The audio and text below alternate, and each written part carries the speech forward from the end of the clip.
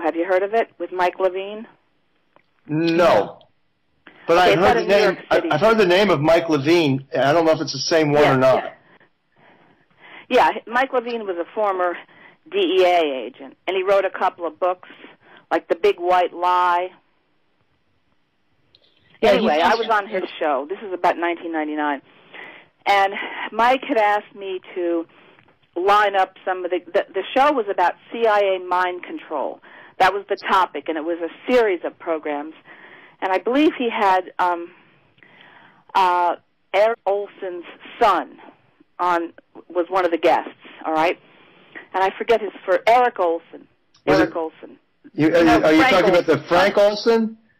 Frank Olson's son, Eric Son. Olson. Eric. Okay, uh, from Yes. Maryland, from the uh, Yes. Fort Detrick area, Maryland. Frank Olson was the CIA person that that was murdered. yes, I uh, spoke and with it the was son too. with the MK Ultra program. yep, You know I'm familiar with of that? Anyway, so we had a few people on, and Ted Gunderson. Now I chose Ted Gunderson. Now at that time, of course, we were still friends, and I didn't, I didn't have any kind of bad feelings at that time.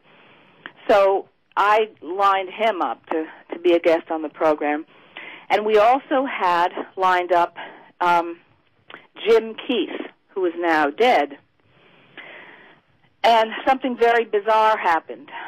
Very bizarre. Uh, that that this was in September. Okay, I think I think Jim Keith died in the middle of September, 1999. Is that correct? Do you know? No, I don't know. Okay. In any case, what happened was I was the only person in the studio because I lived in New York State at the time. I lived in Woodstock, New York. So I I drove down with a bodyguard to go on to go live into the station in New York City.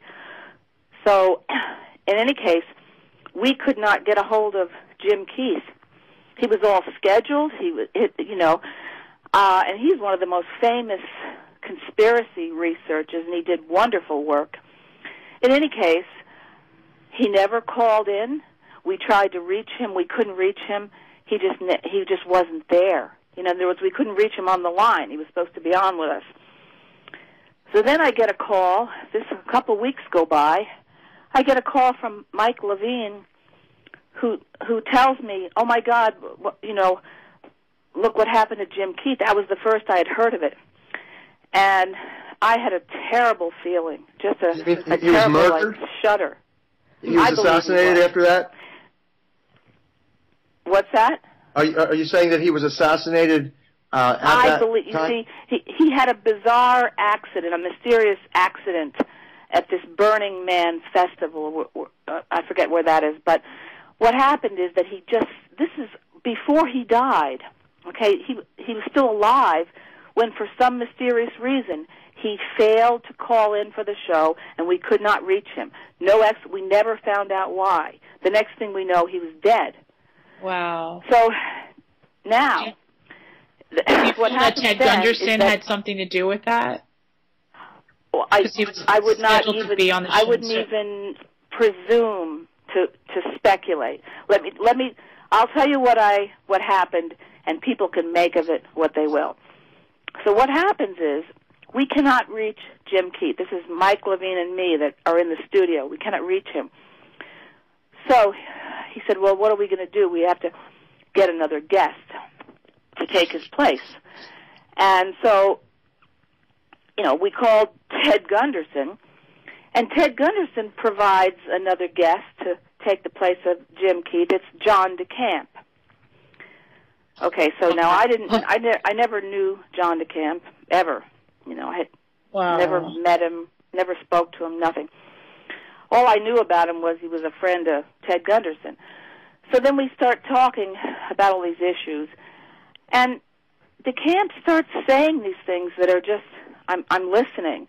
And one of the things that he said, which I was absolutely shocked and also disgusted, was he he was saying that Henry Kissinger was one of the good guys or something along those lines. Not maybe not one of the good guys, but he was actually defending Henry Kissinger Wow. because somebody else, yes, somebody else who was on the program was a mind control survivor. um, her name was Sue Ford. She was also on the program. In any case, um, she was she was talking about her horrible experience with Henry Kissinger, and DeCamp comes on and starts talking about this guy as if he's like an a-okay guy. And so I said to myself, something's wrong with this guy, DeCamp. Yeah. Well, I- let I me just let, picked let me uh, really- interject this, Barbara, just for the listeners. John DeCamp is the counsel in the famous case of the Franklin cover-up. He wrote the book, The Franklin Cover-Up. he was also the senator of Nebraska, or was the former senator of Nebraska. Yeah, the state Yeah. senator, and more importantly, insofar as CIA and Henry Kissinger, John DeCamp was assigned to work under William Colby, CIA director under Kissinger in the White House. And it was 1969, if you remember my work in the book Emerging Viruses, AIDS and Ebola, it was Kissinger who ordered the development of the AIDS-like and the Ebola-like viruses through the CIA's project called MK Naomi, which was a subordinate part and went under the cover of the mind control public persuasion program called MK Ultra that Barbara is an expert in and was programmed in to serve that program by CIA operatives. Barbara can tell you more about that. And in yeah, essence, well, here's here's the thing. I, I want to say this, and this is no news flash, certainly, but Henry Kissinger is a demon. Okay, Oh, yeah. he's a he's a demon. There's he's like Dick Cheney. There's no other way to possibly describe Henry Kissinger. I agree. So when I We hear agree. somebody um, absolutely. And, and talking for about those, him like, oh, he, you know, he's not so bad or he's okay, I knew something was really wrong at that point. yeah. Yeah. So yeah, go So ahead. I'm getting Continue. an echo now on my on my line since I started to talk about this. Well, it's probably True Odd and Greg Szymanski listening in. okay. Mhm. But, So- okay, but let me let me just get to to the point. Okay, the the point that that I wanted to make was that I I it was revealed to me by the Holy Spirit that John DeCamp was involved. He wasn't somebody who exposed this stuff. He was somebody who was covering it up along with Ted Gunderson. Mm. And he was involved. He himself was involved. And I was so horrified when um when this was revealed to me uh that the next time I saw Ted, that program was in summertime. Okay, it was um I think it was August of 1999. The program with Mike Levine. in any case, the next time I saw Ted was November of 1999. We both were going to be speakers at this conference in Philadelphia.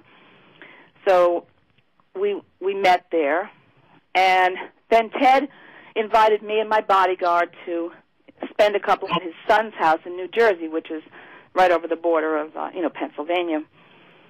So I I told Ted, I said, you know, I need to I need to speak to you alone. So we we we poured ourselves a drink and we went out on the um like veranda because we were at his family's house.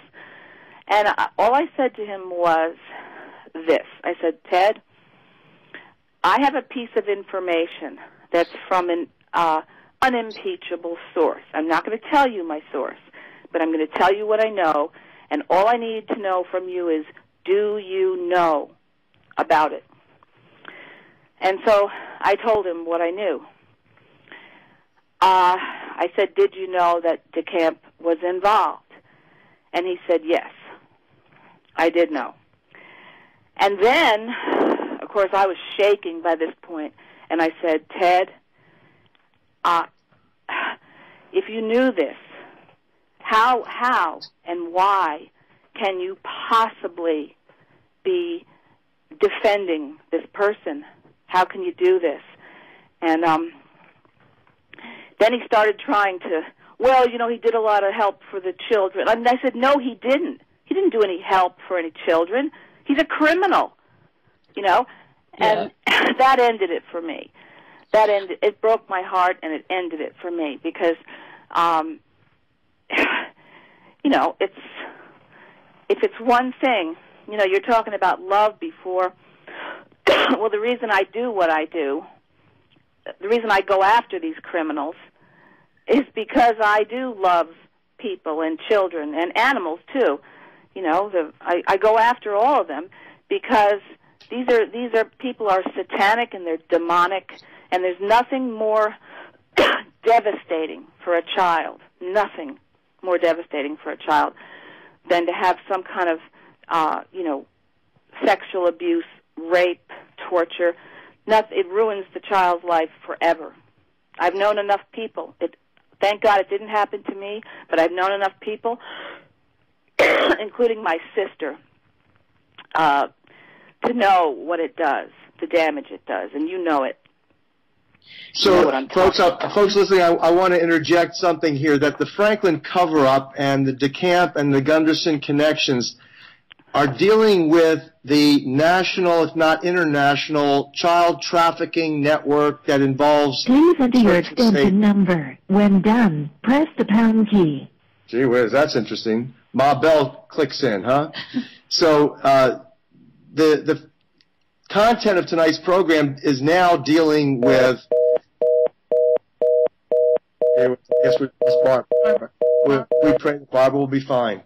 At any rate, folks, tonight we're dealing with the subject now that John DeCamp and Ted Gunderson are being discussed insofar as their association with a Church of Satan, initially now called Temple of Set, run by Michael Aquino, which is the, among the highest level officers of the United States military MK Ultra program, and that this engagement in a satanic child trafficking network is where the evidence indicates the approximately 50,000 or more children are disappearing annually in the United half States alone.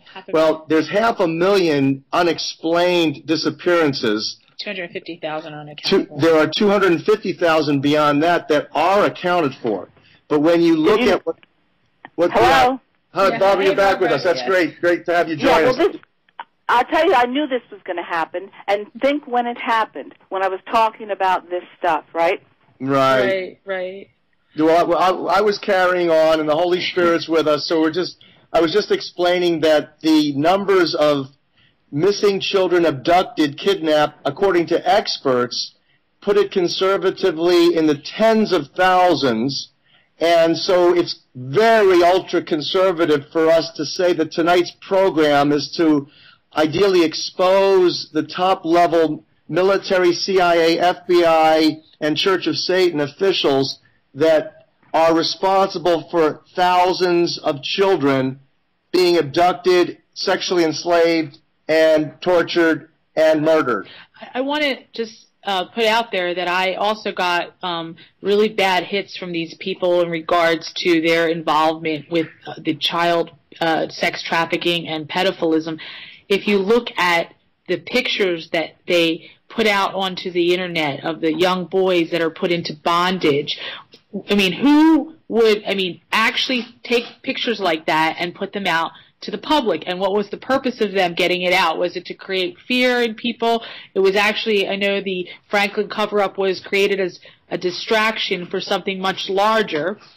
But you look at those pictures and you have to know that these people are all so sick and twisted and that they can, you know, take these pictures and let them out and give them to the boy's mother and and circulate them all over the internet and on porn sites and get it out to the public let, that let that's me, happening. Let me interject an important point for everybody to understand.